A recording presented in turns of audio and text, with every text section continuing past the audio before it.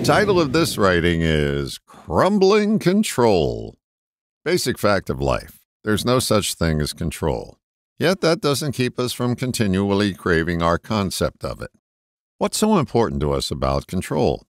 It comforts us with the illusion that we can avoid reality.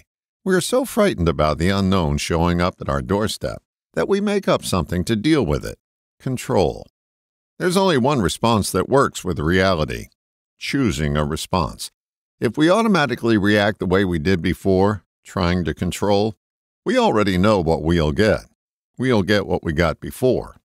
When we choose a response, we're responding to what's right in front of us, not a ghost from the past or an illusion on the horizon. We're responding to something real, reality. We have a much better chance of dealing effectively with reality when we choose a response. Reality is a constant in our lives. Control is an illusion. Attempting to control has the same odds of getting the tooth fairy to pay your mortgage. Start responding to reality and watch your concept of control crumble into the nothingness that it is. All the best, John.